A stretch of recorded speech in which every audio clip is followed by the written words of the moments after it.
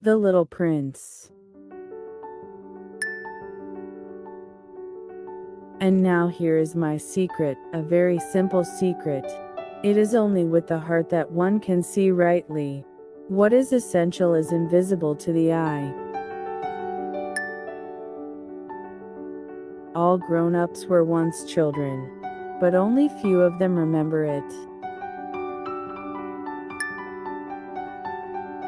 It is the time you have wasted for your rose that makes your rose so important. What makes the desert beautiful, said the little prince, is that somewhere it hides a well. The most beautiful things in the world cannot be seen or touched. They are felt with the heart. I am looking for friends. What does that mean, tame? It is an act often neglected, said the fox. It means to establish ties. To establish ties? Just that, said the fox. To me, you are still nothing more than a little boy, who is just like a hundred thousand other little boys, and I have no need of you, and you, on your part, have no need of me. To you I am nothing more than a fox like a hundred thousand other foxes. But if you tame me, then we shall meet each other. To me, you will be unique in all the world. To you, I shall be unique in all the world. If you tame me, it will be as if the sun came to shine on my life. I shall know the sound of a step that will be different from all the others. Yours will call me, like music, out of my burrow. And then look you see the grain fields down yonder. Wheat is of no use to me. The wheat fields have nothing to say to me. But you have hair that is the color of gold. Think how wonderful that will be when you have tamed me. The grain, which is also golden, will bring me back the thought of you. What must I do to tame you? asked the little prince. You must be very patient, replied the fox. First you will sit down at a little distance from me. I shall look at you out of the corner of my eye, and you will say nothing. Words are the source of misunderstandings. But you will sit a little closer to me every day. People have forgotten this truth, the fox said, but you mustn't forget it. You become responsible forever for what you've tamed, you're responsible for your rose. Grown ups never understand anything by themselves, and it is tiresome for children to be always and forever explaining things to them. You alone will have the stars as no one else has them. In one of the stars I shall be living. In one of them I shall be laughing. And so it will be as if all the stars were laughing. When you look at the sky at night, only you will have stars that can laugh. It is such a mysterious place, the land of tears. Well, I must endure the presence of a few caterpillars if I wish to become acquainted with the butterflies. You're beautiful, but you're empty.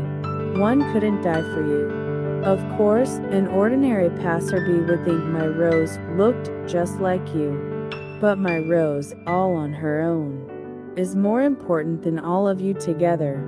Since she's the one I've watered. Since she's the one I put under glass.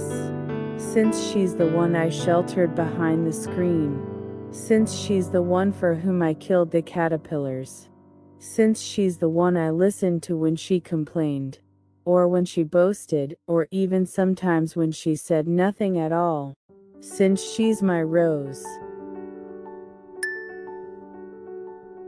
You see, one loves the sunset when one is so sad. People where you live. The little prince said, Grow 5,000 roses in one garden. Yet they don't find what they're looking for. They don't find it, I answered. And yet what they're looking for could be found in a single rose or a little water. Of course, I answered. And the little prince added, But eyes are blind. You have to look with the heart. You become responsible, forever, for what you have tamed.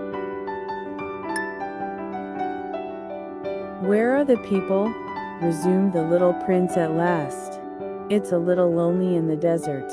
It is lonely when you're among people, too, said the snake. If you love a flower that lives on a star, it is sweet to look at the sky at night. All the stars are a bloom with flowers.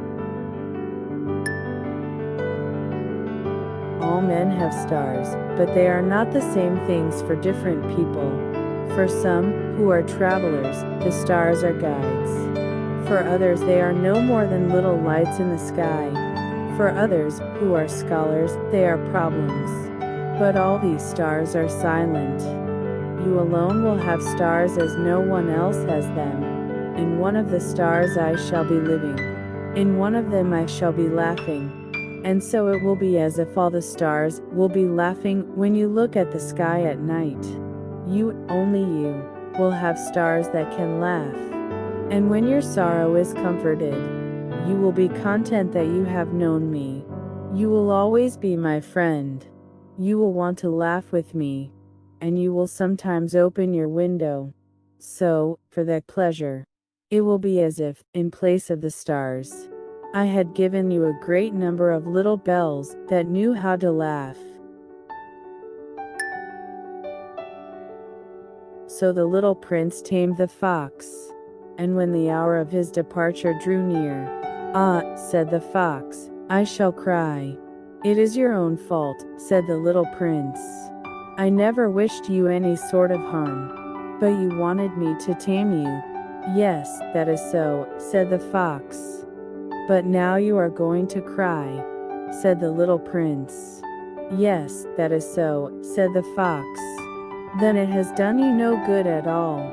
It has done me good, said the fox, because of the color of the wheat fields. And then he added, Go and look again at the roses. You will understand now that yours is unique in all the world. When someone blushes, doesn't that mean why Yes. Of course, I love you, the flower said to him. If you were not aware of it, it was my fault. One day, you said to me, I saw the sunset 44 times.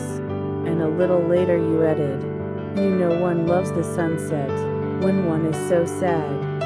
Were you so sad, then? I asked. On the day of the 44 sunsets? But the little prince made no reply. I have always loved the desert. One sits down on a desert sand dune, sees nothing, hears nothing. Yet through the silence something throbs and gleams.